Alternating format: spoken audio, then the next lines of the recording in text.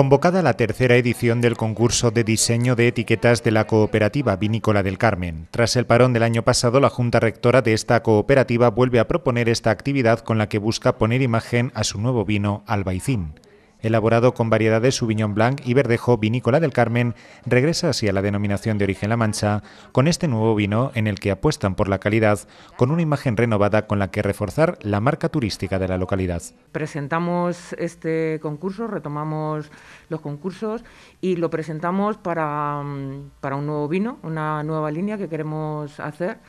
Eh, validar la calidad que ya se está haciendo en nuestros vinos con el sello de la denominación de origen. Y bueno, en esa, en esa apuesta hemos eh, creado esta nueva línea y hemos apostado por una marca a la que hemos llamado Albaicín una idea muy bien acogida por el alcalde criptanense Santiago Lázaro, quien acudió a la presentación de este concurso felicitando la cooperativa por esa apuesta con la que combinan arte y creatividad, enlazando a su vez con la estrategia turística y haciendo que el vino sea señal de calidad a todos los niveles. Lazar la estrategia turística con el vino, pues desde luego que es otra de las cuestiones fundamentales que todos tenemos que, hacer. Cualquier turista cuando viene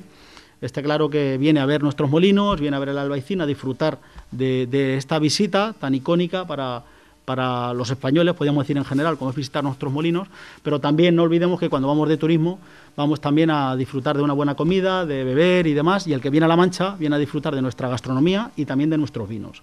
Entonces, yo agradezco el trabajo de la Vinícola del Carmen también por innovar, por seguir trabajando en esta línea, porque tiene mucho además que decir en esta apuesta por el turismo, porque nuestros turistas vienen también a disfrutar de estos vinos y además con un importante componente histórico, como es que nuestra cooperativa es una de las más antiguas de España, que eso también es un, componente fundamental para, darle potencia de alguna manera.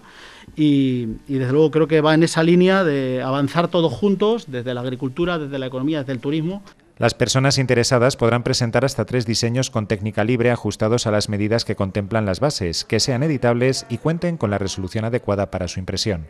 obras que se harán llegar a las oficinas de la cooperativa en el horario de apertura al público y que al finalizar el plazo de recepción, que se extenderá durante todo el mes de junio, se expondrán en escuela de catadores para ser falladas por el jurado, que entregará el único premio de 500 euros e imagen de esos próximos caldos premio que se entregará en la jornada del 16 de julio en lo que será un día muy especial. La entrega del premio se realizará el día, si Dios quiere y todo, y todo va como, como debe ir, el día de nuestra titular, el día de la Virgen del Carmen, el 16 de julio,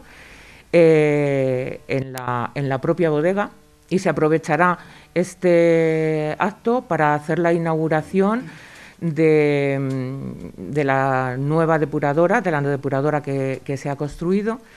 Y mm, se aprovechará también para hacer una jornada de puertas abiertas y que los socios y todo aquel que, esté interesado pueda visitar las instalaciones de la cooperativa. Preguntados acerca de la situación de venta de vino, el presidente de la cooperativa, José Andrés Díaz Ropero, indicaba que había sido un año muy malo debido a las restricciones y al descenso del consumo, pero que en la actualidad se habían recuperado un poco las ventas con un ligero ascenso de los precios. El año ha sido muy complicado, muy complicado, porque con esto de la pandemia la restauración ha estado cerrada, no, no hay mucho consumo. Eh, al principio, como otros años, pues siempre hay ventas. Este año no había apenas nada de pedidos, pero en fin, a partir de enero así se empezó un poquito a espabilar la cosa y se empezó a vender mm, con precios bastante bajos, porque la verdad eh, es lo que suele eh, aprovechan la ocasión para, para hacer compras baratas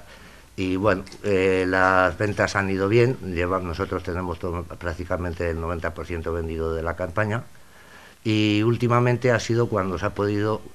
mm, vamos a ver, nos alegramos en que ha subido el precio debido a las, a las condiciones de Francia por las heladas Italia, Francia,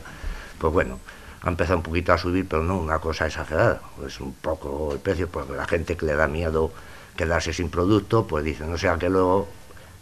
y compran, pero que la verdad ha sido muy poquito. Más información con todas las bases del concurso en las páginas web vinicoladelcarmen.com o escueladecatadores.es.